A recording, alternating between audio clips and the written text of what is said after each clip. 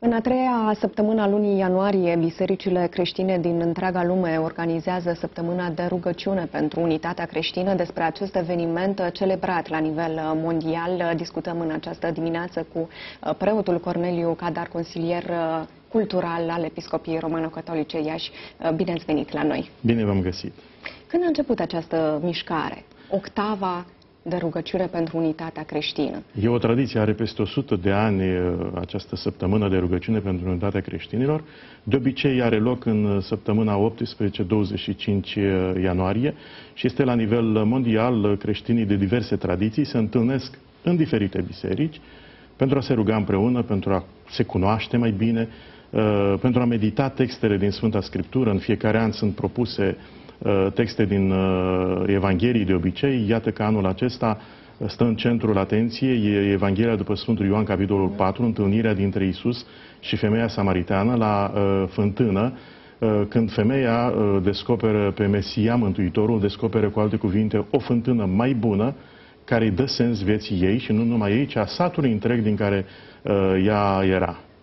Aceasta este tema pentru anul acesta. De altfel, în fiecare an, o altă țară creștină uh, are responsabilitatea de a da această temă. Anul acesta a fost uh, Brazilia. A fost, uh, Brazilia. Brazilia. Tema este Dăm să beau. E un text da. din... Ce ne învață? Ce ne învață acest text? Tocmai lucrul acesta ne învață că noi putem să găsim valori deosebite și în fântânele altora, în, din alte tradiții.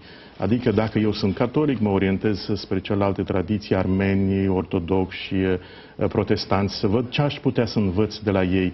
Nu cumva pot să extrag lucruri importante pentru viața mea spirituală și la fel sunt invitați și ei să se uite la uh, celelalte tradiții. De aceea uh, spuneam că au loc în zilele acestea întâlniri, precum sunt și în Iași, între catolici și ortodoxi, dar la, și în, toat, în țară, de exemplu în București, se întâlnesc și uh, protestanții și ortodoxi și catolici și anglicanii uh, și armenii și uh, de fiecare dată într-o altă biserică și caută să descopere valorile care sunt în uh, bisericile respective.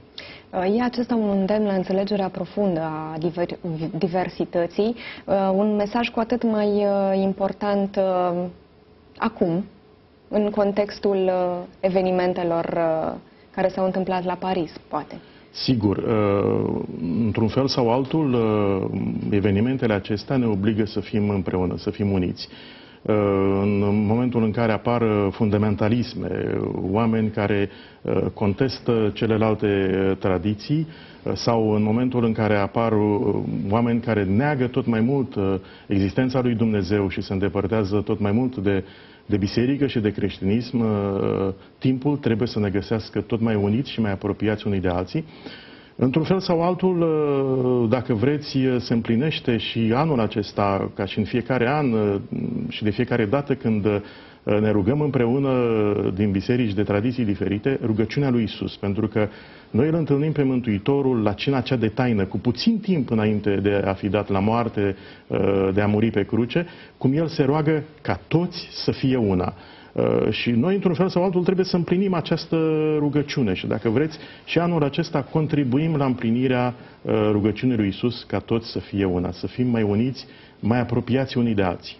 Care este program, programul întâlnirilor pentru rugăciune? Uh, s-a deschis uh, în Iași uh, pe data de 18 ianuarie la seminarul de pe Văscăuțeanu numărul 6, seminarul catolic, această întâlnire la care a participat preasfințitul Petru Gherghel. De altfel, preasfințitul participă la fiecare întâlnire, apoi au avut loc de fiecare dată după amiază la ora 17, e o oră de rugăciune, a avut loc în uh, Biserica Sfânta Tereza din cartierul uh, Nicolina, uh, la Sfântul Anton din cartierul Dacia. Astăzi e în capela unei mănăstiri de la Plopii fără soț. Este acolo un cămin de bătrâni de care au grijă măi, măicuțele și în capela acestei mănăstiri are loc întâlnirea de rugăciune.